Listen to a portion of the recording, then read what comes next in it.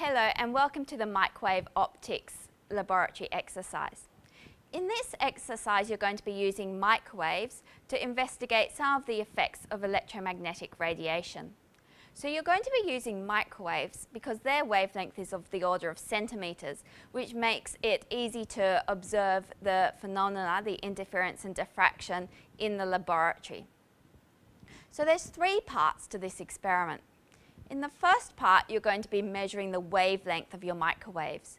You're going to be doing this by setting up standing waves. So I'd recommend that you revise the standing waves on the string experiment from Physics 1a before coming to this lab because you're going to have to relate maximums and minimums to wavelength in the first part of this experiment. In the second part of the experiment, you're going to be investigating polarization, which is a really interesting part of electromagnetic radiation. You're going to be conducting an experiment to investigate Malus's law, which tells us that the intensity of light is equal to the initial intensity, the intensity at the source, times cos squared theta, where theta is the angle between the polarization of the light and the polarizer. So you'll be observing how the intensity changes as you add additional polarizers and as you change the angles between the polarizers. In the third part of the experiment, you're going to be investigating Young's double slit. You'll actually be conducting Young's double slit experiment with microwaves. So what you're going to do in this experiment is that you'll be setting up a slit here with metal because the electromagnetic radiation cannot pass through the metal and you'll be setting up some slit distance D.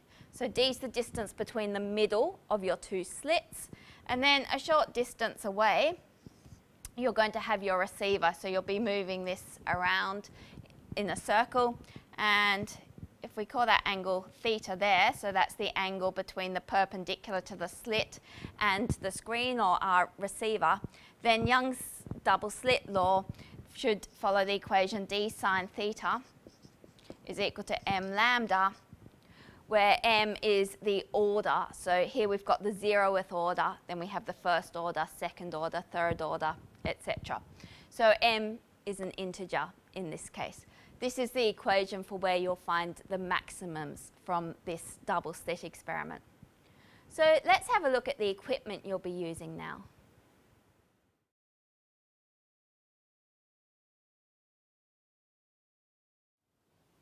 So this is the equipment that you're going to have available for this experiment. This is a microwave receiver, so it's got a little scale on the side there, which will give you an idea about the intensity of the microwaves that are being received. This is the microwave transmitter. It's okay, they're very low intensity microwaves, so you're not going to be harmed by the microwaves sent out by this transmitter. You couldn't fry an egg with them.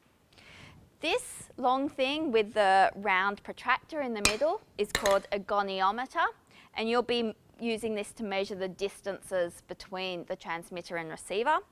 You've got a couple of stands, and then you've got this polarizer, and again, this is part of the stand. So let's just have a quick look at how you're going to use this equipment. For the first part of the experiment, where you're setting up the standing waves, you'll want to have these parallel to each other.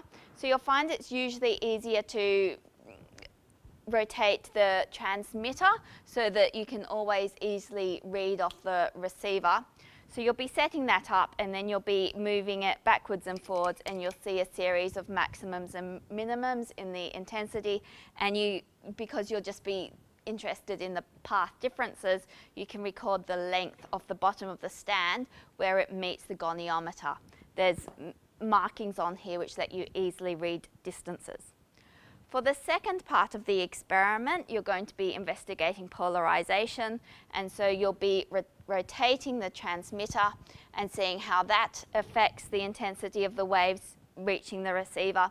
And then you'll be putting this polarizer in between. To do that, you've got a stand here, which you will just slide onto the track.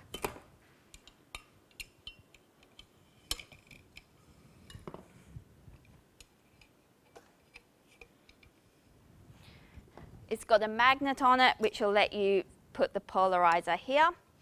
Now this polarizer is cut off along the bottom here to show you an angle of 45 degrees. So when you need the polarizer at 45 degrees, just line the bottom of that polarizer there where it's been cut off up with the bottom of the magnet. To get 22.5 halfway in between, you're going to have to do that by eye. It's halfway between these two. So you will just line that up with the stand so that it looks equal on both sides and that's then your 22.5 degrees. So in the final part of the experiment, you're going to need to set up Young's double slit experiment. And to do that, you've got a, another stand here. Again, it's magnetic. You can put this long piece on top of this stand just so that the L-shaped bracket is supported on top of it. This will then go onto the middle of the goniometer there and you've got two different spacings for your Young's double slit so you'll put the smaller piece of metal in the middle and then you've got two which you put, oops, two that you put on the outside. Should take this extra stand off for this part. You'll set it up neater than this obviously and then you're able to move the receiver around and find out where your maximums and minimums occur. You can read the angle off the bottom of the goniometer. Okay, so good luck with this experiment and I hope that you manage to reproduce Young's exciting result.